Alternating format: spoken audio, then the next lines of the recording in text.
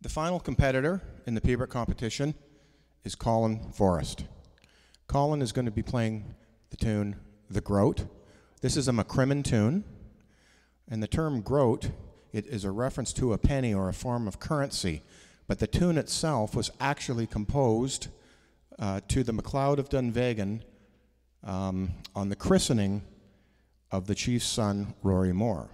So, in my mind, when I think about that, a penny, a groat, and, and a tune commemorated for a christening, then to me it seems to me it was some type of offering to the uh, MacLeod chief uh, on the christening of, of their son. So uh, we will have Colin Forrest here uh, shortly with the groat.